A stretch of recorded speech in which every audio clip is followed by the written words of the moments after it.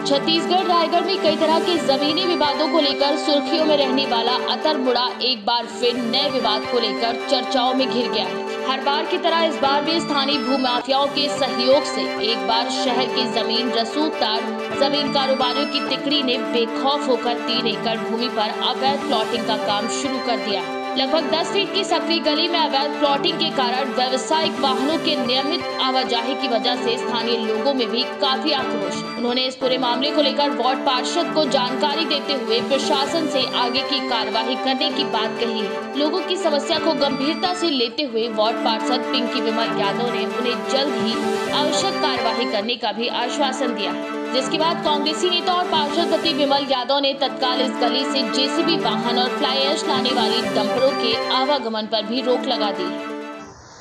इस संबंध में जब आपको जानकारी मिली तो क्या आपने निगम प्रशासन को ये बताया कि सर यहाँ अवैध प्लाटिंग हो रही है या आगे आप किस तरीके की कार्रवाई करेंगे?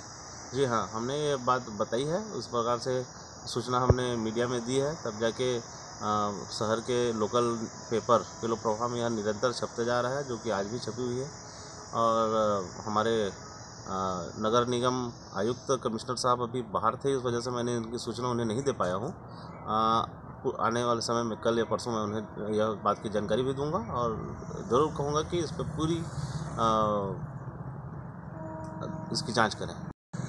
क्या ऐसा मामला है कि वार्ड क्रमांक छब्बीस और सत्ताईस में ही शासकीय भूमि पर कब्जा और अवैध प्लाटिंग का मामला बार बार सामने आता है? यह मैटर यह है कि नगर निगम में सबसे अधिक भूमि यदि कहीं आवंटित या नजुल की भूमि है तो वह इसी क्षेत्र पे है, जिसे काफ़ी लंबे समय से यहाँ मतलब कौड़ियों के दामों में बेचा, खरीदा बेचा, खरीदा, यह सिलसिला चलता आ रहा है।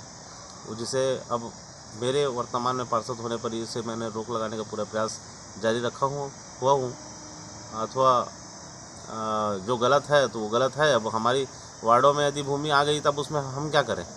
परंतु हम इस काम को अब अब ये भूमि माफिया गिरी, हमने रोकने का पूरा प्रयास किया। छत्तीसगढ़ से केकेडी न्यूज़ संवाददाता नवरतन शर्मा की रिपोर्ट।